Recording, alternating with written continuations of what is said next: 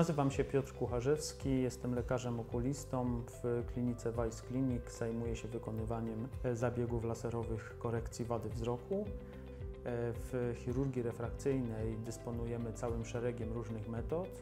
Metoda EBK należy do tak zwanych metod powierzchownych. Oznacza to, że inwazyjność danej metody w odniesieniu do struktur główki jest minimalna. Poszczególne etapy przeprowadzania zabiegu, w przypadku zabiegu EBK, ale podobnie to wygląda przy innych metodach, mm, no, polegają na tym, że stosujemy tutaj y, pełne, pełną jałowość wykonywania zabiegu. Mimo, że nie są to zabiegi na naczyniach krwionośnych, gdzie ryzyko jakichś infekcji okołozabiegowych jest minimalne, Pacjent y, ma przemywaną twarz y, roztworem y, powidonu jodyny.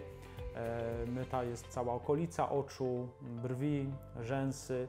W znacznym stopniu zmniejsza to ryzyko jakiejkolwiek infekcji bakteryjnej.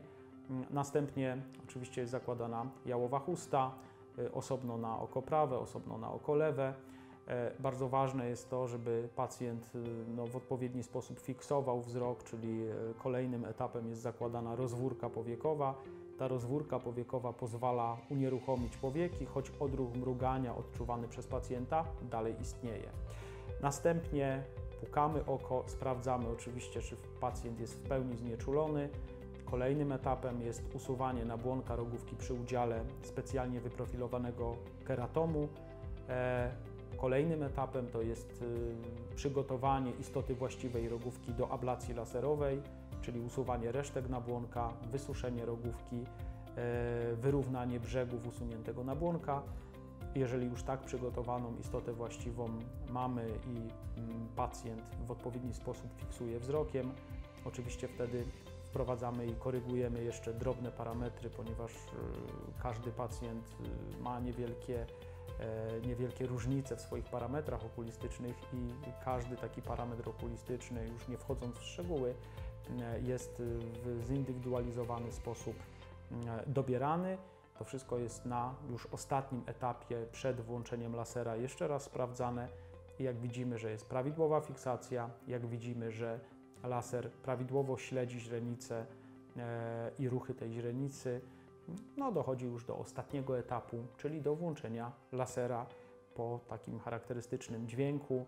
E, Ten proces laserowy e, trwa kilka, kilkanaście sekund. Jest wtedy charakterystyczny dźwięk. Pacjent cały czas fiksuje wzrok na charakterystyczne zielone światełko.